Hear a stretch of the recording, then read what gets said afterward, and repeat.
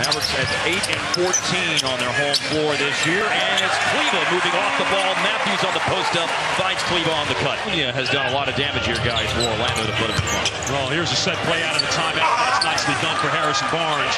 Make sure they get themselves a basket. Get out, get out. Yogi,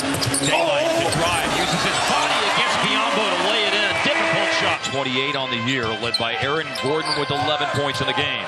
The roll and the finish. Nicely done by Mejri. Oh, nice lead pass by J.J. Foul. And what a great pocket pass by J.J. Barea. And solid right to the one where he could extend and score. Finish and then defense at the other end. Two by Mejri on the chase down block, but Gordon follows it in. Another rebound for Yogi.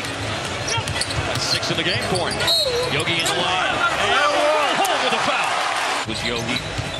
Final two minutes of the third quarter. By six. And wow! Salah tossed it up.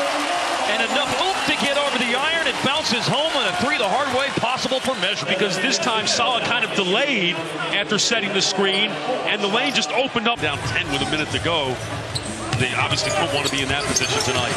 Here's Devin. Finds Dirk. Deep deep in. Three looks good, and it is. Well, that's a big comeback game for Dirk.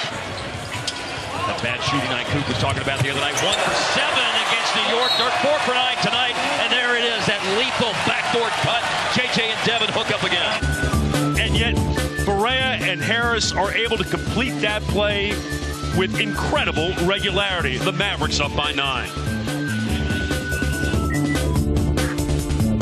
Try to shoot a three-pointer. This time it worked for Orlando. Was it two for Gordon? He's got 19 points in the game, and that is an and one. Get back now and get an and one opportunity.